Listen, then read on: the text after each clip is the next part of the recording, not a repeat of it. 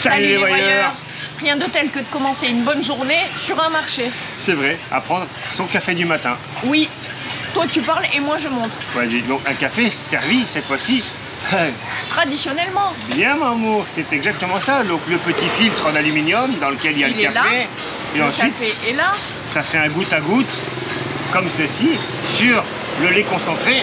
Et ensuite, on va verser cette mixture dans un verre rempli de glaçons, puisque nous avons pas pris un café soa, mais un café souda, donc avec de la glace, café glacé.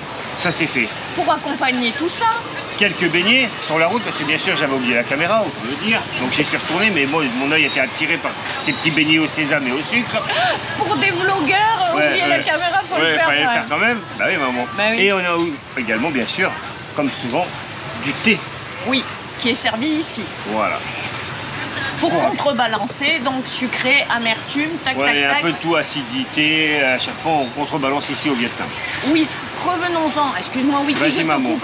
Au sujet principal quand même de cette vidéo, vous nous avez posé énormément de questions et vous nous posez encore beaucoup de questions concernant euh, les visas ici pour le Vietnam et euh, Tout ce qui concerne le deux roues. Voilà. La conduite, la location, euh, j'en sais rien, moi, tout ce que vous voulez savoir. les, permis, nécessaires. etc. Donc on va en parler tout au long de la journée, d'où le titre ouais.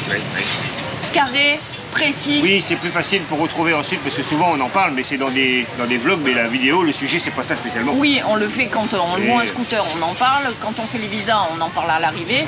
Et bien sûr, on regroupe tout dans les bilans, Ouais, ce ouais. qu'on fera de nouveau. Mais là, au moins, ce sera plus facile pour retrouver, un peu comme les sacs à dos. Voilà. Voilà. Une vidéo dédiée. Donc, on va rester du coup une nuit supplémentaire ici. Et on va aller se balader, parce qu'on va pas faire ça dans une salle de classe, bien entendu. Non, pas dit. On peut prendre le café. Quand t'arrêteras bon de parler. Ok. Non mais sérieux, t'as cru que j'étais ton caméraman ou quoi Bah, un peu quand même, non Vas-y, prends la caméra, il faut Ouais, que je mets-toi de parle. l'autre côté et ouais. reste à genoux là. Ça fait mal hein, sur le sol comme ça, les Allez, dépêche-toi. Non mais c'était pour parler un peu de ces petits beignets. Oui. En fait ils sont fourrés à la pomme de terre. À la pomme de terre mais à la patate douce en fait à l'intérieur. Je sais pas si on voit. Je ne sais pas. Et là ceux au, au sésame, franchement très craquant avec le sucre dessus. C'est Ouais. super bon. hein. Très bien, allez, vas-y. C'est bon Mmh. J'adore. Ici, le vendeur de couteaux vient à domicile. Et la personne qui nous a préparé d'ailleurs nos cafés va certainement s'en procurer un.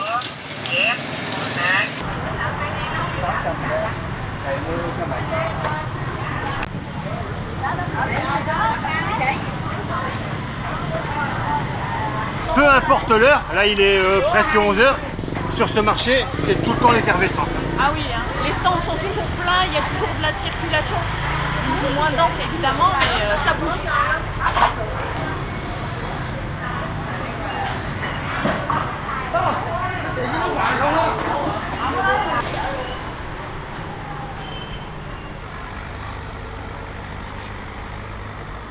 Mamour, ça fait peur T'as vu? Ici, c'est le service réanimation, tout le monde est sous oxygène. Alors ici, c'est le marché de gros. hein. Celui qui pense qu'il va pouvoir acheter seulement deux tomates et une pomme de terre, c'est raté.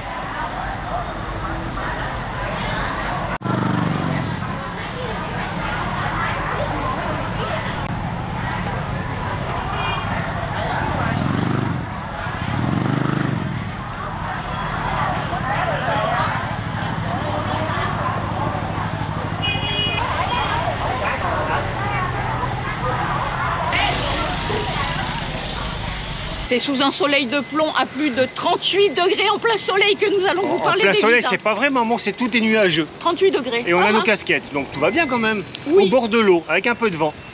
Une brise. Oui, qui va nous parler des visas? On t'écoute. Bon, on va pas attaquer par les visas, on va attaquer par l'exemption de visa. Oui, Parce qu'il y a quand même énormément de pays qui ont droit à une exemption de visa pour se rendre ici au Vietnam.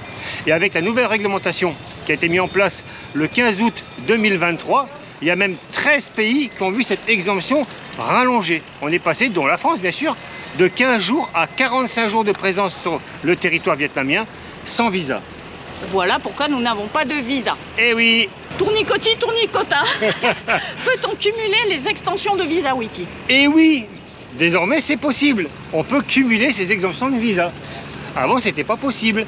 Il fallait sortir au minimum 30 jours et ensuite on pouvait de nouveau rentrer dans le, dans le pays. Oui. Maintenant on peut. On va donc faire ce qu'on appelle, on va dire, un, un visa run, hein, c'est pas vraiment officiel comme nom. On va donc sortir. aller par exemple d'ici, on peut aller au Cambodge ou au Laos, et on rentre immédiatement, c'est reparti pour 45 jours. Et ça, on peut le faire plusieurs fois. Il n'y a pas de limite normalement, mais il faut quand même savoir que dans la pratique, à Ils partir de non, 3, 4 fois, et après on peut se le voir refuser quand même, parce que ça pourrait dissimuler un, un travail clandestin, ou alors le fait qu'en fait on vive au Vietnam. Des conneries, quoi. En fait, on se sert d'une exemption de visa touristique pour d'autres fins. Il va falloir parler fort. Oui, qui m'a dit vas-y, prends des notes. Donc euh, bêtement, je pose les questions. Faut-il un billet de continuation? Oui, dans le cadre de l'exemption de visa, il en faut un. Et oui, maman. Bah oui. Donc, soit un billet d'avion qui vous fait repartir dans votre pays d'origine, soit un billet d'avion pour continuer, mais également un simple billet de bus pour le Laos, par exemple, ou pour le Cambodge, qui prouve que vous allez sortir du territoire et re-rentrer dans le cadre soit d'une exemption, soit dans le cadre d'un e-visa. Peut-on prolonger l'exemption par un e-visa? Et pour les petits malins, non, c'est pas possible. C'est possible, mais il faudra quand même sortir du territoire. Pas question de rentrer au Vietnam avec une exemption de visa et de se dire directement, bon, ben, quelques jours avant, je vais faire ça sur Internet, je vais le recevoir et puis c'est bon. Non, ben non, il y a les tampons sur euh, le passeport, donc il faudra obligatoirement sortir et re-rentrer. Et il nous donne déjà cette facilité de pouvoir rentrer et sortir comme ça sans délai. Donc il ne faut pas essayer de jouer au plus malin, ça va pas le faire. Et allez, peut-on dépasser les 45 jours? Non. Il est écrit sur certains sites, c'est possible, mais sanction. Bah donc s'il y a sanction, non. Peut-on prendre un sens interdit? Bah non. Sinon il y a sanction. Voilà. Donc, et les sanctions, euh, il y en a quand même. Donc il y a plusieurs tranches. Je vais en donner deux au niveau des tarifs. Oui. Moins de 16 jours. C'est entre 18 euros et 75 euros. J'ai fait la conversion vite fait, on n'est pas au centime près, c'est en dollars normalement. Et si on dépasse carrément 90 jours, alors là, je sors même le carnet, c'est entre 560 euros et 745. C'est quand même beaucoup moins cher de se prendre un petit e-visa par internet euh, pour 90 jours à 25 euros. On va y revenir de toute façon maintenant. Fini les exemptions. Maintenant, on parle des visas. Ouais, parce qu'on peut aussi venir avec un visa. Et tous les pays n'ont pas la possibilité d'avoir cette exemption, comme je l'ai dit tout à l'heure. Par contre, toutes les nationalités peuvent venir ici au Vietnam avec un visa, avec euh, différentes euh, Conditions. conditions, bien sûr. Donc 80 pays peuvent le faire grâce au e-visa, par Internet, grâce au site mis en place par le gouvernement. Et ça, c'est bien parce que c'est très rapide. En trois jours, on l'a. Oui, le lien dans la description. Ouais. Wiki Carnet. oui, oui, un petit peu quand même, parce qu'il y en a des informations. Donc, la réglementation de 2023 a également euh, changé un peu la donne sur les e-visas. Auparavant, c'était 30 jours le e-visa. Et pour ces 13 nationalités de pays, dont la France, on est passé à 90 jours, 3 mois avec un e-visa. Sachant que le tarif, c'est seulement 25 dollars, on fera la conversion, pour un e-visa simple entrée. Mais vous pouvez également prendre un e-visa multiple entrée. Et dans ces cas-là, c'est 50 dollars. C'est juste le double. Et ensuite, il y a quand même, pour certains pays, certaines nationalités, des complications. On va y revenir tout de suite. Pour les pays comme le Maroc, la Tunisie ou l'Algérie, vous ne pouvez pas passer par le biais du e-visa. Il faut vous rendre directement à l'ambassade du Vietnam dans votre pays d'origine et faire cette demande. Et le tarif, c'est plus le même, c'est 60 dollars. Il y a même encore plus, plus cher que ça pour les Pakistanais, pour les Nigérians, pour les Congolais. Pour eux, c'est entre 100 et 200 dollars le visa pour venir ici au Vietnam. La donne n'est pas la même pour tout le monde. Il me semble qu'il y a quelque temps, on pouvait euh, renouveler les visas ou Alors e-visa. J'ai pas terminé ma phrase. Ouais. Alors Mais ça, c'était avant le Covid déjà, parce qu'après, il y a eu le Covid, l'après-Covid avec des grosses restrictions, et depuis cette nouvelle réglementation, c'est terminé. On ne peut plus renouveler que ce soit un visa ou un e-visa. Il faut sortir et en refaire un autre. Ils ont mis cette facilité, et ben on sort et on revient. T'en vas pas comme ça, Wiki, j'ai encore une question. Faut-il un billet de continuation dans le cadre du visa ou du e-visa, s'il Eh te non, plaît eh non, pas du tout. Contrairement à l'exemption, il n'y en a pas besoin cette fois-ci. On peut donc venir sans billet de continuation au Vietnam avec un visa ou un e-visa. Ça, c'est une belle... euh, Avancez. Bien, Momo Je suis pas bien là comme ça, regarde ça? T'es un peu en contre-jour, tu vas être Hop, moche. Hop, hop, hop, hop. Ah, voilà, c'est pas mal. Donc, est-ce qu'on peut le prolonger? Le renouveler plutôt. Oui, c'est ça. prolonger, on peut pas. Non, on peut pas. Est-ce qu'on peut renouveler un visa ou un e-visa? Si t'as la question, pourquoi tu me la poses? Ah, Parce que tu dois poser ces questions. Non, allez, vas-y, envoie. Oui, il n'y a pas de restriction. Autant de fois qu'on veut. Non, on sort, on rentre, on sort, on rentre, mais autant de fois qu'on veut avec le visa ou le e-visa, contrairement à l'exemption, où au bout de 3-4 fois, on risque d'être embêté. Là, non, on paye, donc tout va bien. Et dernière question, Ouais. comment on fait pour avoir un visa? Ah, Trois possibilités, soit en se déplaçant, ou même par courrier, parce qu'on l'a déjà fait en envoyant son passeport, ou lui, il a un sacré véhicule, directement à l'ambassade du Vietnam, pour nous à Paris par exemple, et ensuite on reçoit les passeports à la maison, avec euh, dessus le visa, soit vous passez par le site pour avoir un e-visa, là c'est pas compliqué, il suffit de suivre, hein, euh, ZZ maman, et ouais. ZZ et voilà. Et enfin, dernière possibilité, passer par une agence, là par contre ils prennent des frais, et des fois ça vous coûte le, le double du prix. Et c'est pas sorcier de le faire soi-même sur internet. Ouais, tu parles d'un voyage tranquille, toi on passe notre temps à faire de l'administratif là. non mais les visas c'est fait, on en a parlé, hein. on reviendra plus dessus. Par contre ça creuse cette affaire. hein. Oui, du coup je suis de mauvaise humeur. Ah, ah, c'est l'heure de manger, on n'est pas loin de midi. Allez, go Tu veux rajouter quelque chose sur les visas? Non, pas du tout, ça m'intéresse pas. C'est toi, c'est ta mission. Et, euh, nous sommes sur le marché ici. Oh C'est du mimosa pudique. Le mimosa pudique, vous savez, c'est cette plante, regarde Wiki. Bon là, elle est un peu fanée, mais quand on la touche, les, Les les feuilles. feuilles. se referment. Et ben apparemment, ça se mange. Ils doivent le cuisiner. Je connais pas du tout la façon dont ils s'en servent. Mais voilà, j'avais juste envie d'en parler. Euh, Il va falloir que tu te renseignes, moi j'aimerais que tu me prépares un petit truc à manger avec ça quoi. Bah voyons. Et ben voilà, j'ai mon explication. La dame a montré, elle enlève la petite mousse qui se trouve autour de la tige et elle mange la tige. Comme ça, ça ressemble à une pomme verte euh, pas mûre. Ouais c'est ça ouais. Je pense que ça Mais-. Peut- Ah oui, je pense aussi. Si là, tu ne trouves pas une bonne table pour manger ce midi, c'est que tu le fais exprès. Il n'y a que ça. Bien sûr, jamais satisfaite. Il y a je sais pas combien de tables. Elle s'est sauvée de l'autre côté. Qu'est-ce que tu as vu de... Qu'est-ce qu'il y a de meilleur ici par rapport en face? Euh, ben rien, on voit directement, c'est comme une cantine. hein, euh, on prend son assiette et on se sert. Il y a un peu de tout, hein, Ouais. de la viande, des légumes, des champignons. euh, Ouais, c'est bien, c'est bien, c'est bien. On va manger là. Il y a vraiment de tout. hein. On prend ses assiettes et oui, c'est plus pratique. Hop, tac, tac, tac. on vient dans la glacière. Il y a du riz à profusion. On en met dans son assiette. Du riz froid alors dans la glacière? Non, pas du tout. Du riz hein, C'est pour conserver la chaleur. Sois pas belle, s'il te plaît. Oh là là, ah ben là ça prépare.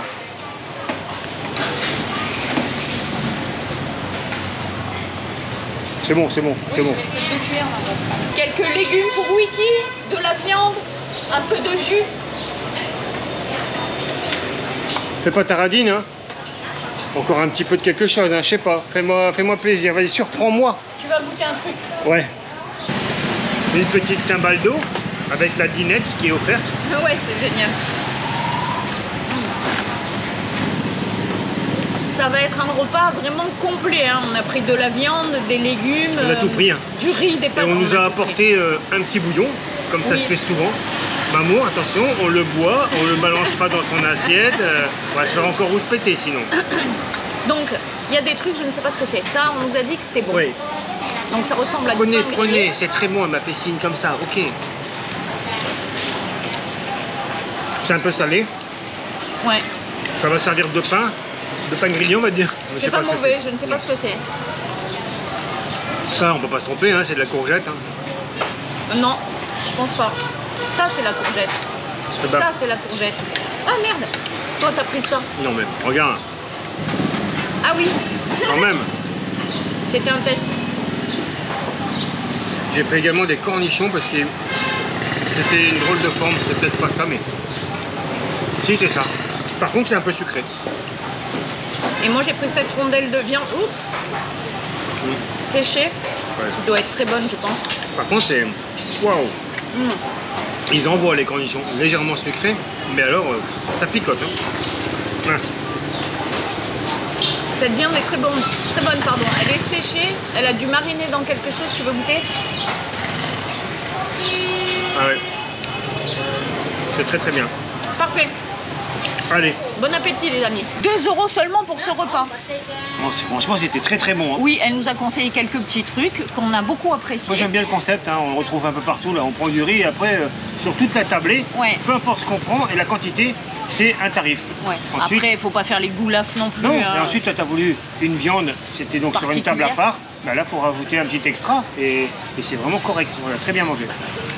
Quoi de mieux pour digérer ce petit repas qu'un bon jus d'orange Et oui, bah, il y avait juste à traverser euh, le marché, quoi. Et nous voilà ici, au même endroit que ce matin pour prendre le café. Je On fais une petite bien. parenthèse concernant les jus d'orange. On dit à chaque fois oui, à l'étranger, les jus d'orange, enfin les jus de fruits sont extraordinairement bons, les fruits sont sucrés. Peut-être parce qu'à chaque fois on ne voit pas la préparation. Elle a mis deux cuillères à soupe gigantesques. Et pour vous dire, même en Malaisie, des fois ils rajoutent De encore du sucre de canne. Elle a mis deux cuillères à soupe de quoi De T'as sucre. Ah, Ah, voilà, oui. de sucre. De sucre, de sucre, liquide. autant pour moi. Deux cuillères à soupe ouais. De sucre en poudre, plus du sucre Ah. liquide. Ah, les deux. Donc je vous assure, c'est c'est bon, c'est sucré, Ah ouais, il est c'est très bon. sucré, est super bon. Profitons de cette minute glandage pour remercier les tipeurs qui ne sont autres que Manu et Daniel. Ainsi qu'Annick. Merci beaucoup pour votre générosité. Et on va même profiter carrément d'être ici, un peu au calme malgré tout, hein, Oui, pour parler de la conduite d'un véhicule et de la réglementation ici au Vietnam. Hein. Ne venez pas me parler de Thaïlande ou de Cambodge, ça plus tard. on en parlera en Thaïlande. Voilà, là je parle que du Vietnam. Quelles sont les règles à suivre pour pouvoir conduire un véhicule deux roues Asseyez-vous, prenez votre stylo. C'est parti, mon kiki. Maître Wiki en direct du marché de Il n'y a rien de bien sorcier, rien de bien sorcier pour conduire au Vietnam. Le permis est obligatoire pour la conduite de tout véhicule à moteur dont la cylindrée est supérieure à 50 cm3. Jusque-là, c'est facile. C'est clair. Mais si en plus de ça, on n'est pas vietnamien, on ne pourra conduire sur le territoire vietnamien que si on est détendeur, détendeur pardon, d'un permis national valide et du permis de conduire international. Première chose. Et hop, barba truc. Mais pour pouvoir utiliser le permis de conduire international au Vietnam, faut-il encore que votre pays d'origine soit signataire de la Convention de Vienne de 1968. Et là, c'est très important. Et bien sûr, toujours avoir son permis national valide avec. Oui. Exemple, les USA, le Canada. Oui. Alors là, on est mal barré. Ah, c'est très Ah, bon. Oui. Je yes, demande simplement si le jus d'orange est bon. Donc, j'étais en train d'expliquer que pour certains pays comme les USA, les Britanniques, les Australiens et le Canada, ces pays sont signataires de la Convention, mais de 1949. Donc eux, ils peuvent venir autant de fois qu'ils veulent au Vietnam avec leur PCI et leur permis valide. Ils sont obligatoirement dans l'illégalité. Ils n'ont pas signé la bonne convention, celle de 1968. Et voilà, Nicolas. On est chouchouté, on nous a mis un parasol pour qu'il n'y ait On pas le bien. soleil. Franchement. Pendant l'interview, il faut être bien installé. Et donc, allez, on enchaîne les différents permis qui permettent donc de rouler ici. Donc, bah, déjà la voiture, le permis B, c'est comme chez nous, il n'y a rien de sorcier. Mais par contre, pour les motos, ça n'a rien à voir. Donc, avec la catégorie A1, on est bien d'accord, le permis A1 en France, vous pouvez conduire un véhicule deux roues ici au Vietnam dont la cylindrée n'excède pas 175 cm3. Vous oubliez les 125 km, cm3 en France. Et tout. Non, ça n'existe pas ici. Il n'y a que deux catégories. Donc avec le permis A1, je répète, 175 cm3 maximum. Et avec le permis A2 et bien sûr le A, on peut tout conduire. Donc au-delà de 175 et bien sûr aussi en dessous de 175 cm3. Il n'y a rien de sorcier? Non Et il n'y a pas à chercher midi à À 14h. tortiller du cul. Il n'y a pas non plus de oui mais moi j'ai le permis B, j'ai fait 7 heures de conduite, je peux conduire. à- Ça n'existe pas ailleurs qu'en France. Même en Belgique, on ne peut pas conduire avec ce permis 125 bidon là, avec les 7 heures de travail. Ça a été fait que pour les Français. Les Belges d'ailleurs ont le même, il n'est pas valable chez nous, il est valable qu'en Belgique. T'as compris aussi. Non mais voilà, ça c'est important. Mais oui. Et ensuite, quand on nous pose des questions sur les différents permis, tout ça, les locations, donc effectivement, si vous allez dans une agence de location pour prendre un deux roues, il va rien vous demander. hein, Il s'en fout, le mec, il il s'en fout de savoir si vous avez permis, euh, sauf les, les agences hyper carrées comme celles Comme dont on, voilà, comme Tigit, ils m'ont carrément demandé, vous avez le permis international, on peut le voir et tout, voilà. Mais sinon, euh, généralement, dans les boudouis, ils s'en foutent, ils veulent juste vous louer le véhicule. Donc certains répondent à ma place, Et c'est notre chaîne quand même. Donc oui, euh, moi j'ai toujours conduit en Thaïlande ou je sais pas trop où, je prends rien, je roule, c'est la fête. Mais Quand je me fais arrêter par la oui, police, je, je, sors, je ma sors ma liasse de billets. Bah d'accord, bah, pas de souci. Si vous voulez, je reprends le boulot l'année prochaine pendant 4 mois. Venez traîner autour de la Trinité et on verra comment vous allez faire, comment je vais vous mettre sur le côté. Parce que vous respectez rien. Vous savez, à l'étranger, je fais rien. Donc en France, pareil. J'ai pas besoin de permis, je vole dans les magasins. Bah voilà, donc tout est possible évidemment. Et comment on va faire aussi quand on n'aura pas tous ces permis et qu'on n'aura rien respecté en cas d'accident? Quelle assurance va vous couvrir? Faudra me l'expliquer ça aussi. Monsieur, je fais un peu n'importe quoi. Essayez de pas énerver mon Non, c'est pas ça, c'est que moi j'essaye de donner les réglementations. Après, chacun fait comme il veut. Si vous voulez euh, laisser votre passeport, euh, euh, ne pas avoir de permis, conduire, faire du wheeling, faites ce que vous voulez. Mais venez pas me poser des questions, allez sur une autre chaîne, mais pas sur la nôtre. Moi je donne la réglementation. Voilà. Sinon, vous pouvez venir aussi en Vietnam sans visa et rester deux ans. Et conduire sans permis, il n'y a pas de souci. Voilà, tout ça pour dire que effectivement tout est possible. Maintenant, quand on nous pose des questions, on essaye de vous donner la réglementation. Sinon, oui, sachez-le, vous pouvez faire ce que vous voulez. Un truc qui est bien aussi, parce que comme vous avez vu, si on dépasse pour le visa, il y a des sanctions. Euh, pour le... Ici aussi, hein, nous on s'est fait contrôler une paire de fois au Vietnam. Faut pas penser qu'il n'y a pas de contrôle. hein. Et dans la boucle de Hajiang, dans le nord, ils, ils arrêtent la personne, ils prennent euh, donc la contravention qui va avec, le véhicule est mis en fourrière immédiatement et le loueur, lui aussi, est puni. C'est pour ça que c'est compliqué maintenant à Hajiang de Et louer. qui deviennent de plus en Eh plus oui, sérieux. bien sûr. Avant, ils faisaient ça un Donc peu à il y la a vache. obligatoirement une sanction quand on ne fait pas les choses correctement. C'est ce qui va se passer aussi sur la chaîne. Les personnes qui vont penser pouvoir écrire un peu ce qu'ils veulent, il y a sanction. Nous on va les mettre de côté, terminé, ils pourront plus faire de commentaires. Problème réglé. Oh là là, vous avez vu L'ancien flic, le bleu qui coule dans ses veines, ça se passe comme ça. C'est pas Non, une question de non, flic. non, non. J'étais pas que Je- flic dans ma vie, j'étais militaire. Je- Il y a mais- des règles, on respecte Oh les règles. Au-delà, chacun fait ce qu'il veut, mais il faut pas venir poser des questions. On fait juste ce qu'on veut. Dans ce cas-là, il n'y a pas de questions à poser. Non mais quelqu'un a posé une question et une autre personne Ouais. aurait répondu. Ça, c'est enfin, comme, aurait euh, répondu. c'est ceux qui savent tout mieux que les autres. Euh, dès qu'on rentre dans un pays, on a toujours droit à ces deux, trois qui viennent et qui veulent nous expliquer tout ce qu'il faut faire, où il faut aller, faire ça, comme ça, comme ça. Mais c'est bon, hein. les trois quarts, ils vivent que dans les capitales et, et ils font rien de ce qu'on fait. Voilà, donc venons-en au fait, pourquoi j'ai pas envie de me faire arrêter par la police, ni ici, euh, ni en France, ni ailleurs. ailleurs. Parce que quand on sur un flic comme ça, vous savez que vous n'avez aucune chance. Mais non, il n'y a aucune chance. Il n'y a pas d'excuse Non, possible. il y a des règles, si vous voulez pas être emmerdé, il faut les respecter. C'est noir ou c'est blanc. Je sais très bien, il n'y a pas de gris. C'est comme ça dans ma tête. Vous savez pas ce qui s'est passé Ah oui. Tout est permis. On a fait un, un jus de fruits basket, on s'est barré sans payer. Ouais, voilà, c'est comme ça. Mais non, Non, plaisante. bien sûr. On est un petit peu redescendu. C'est vrai que parfois. Ah mais tout va bien, hein. C'est parce que je dis un truc, euh, après dans la seconde c'est bon. Hein. Oui, non. Ce qui peut être agaçant parfois, c'est les réponses à des questions sérieuses.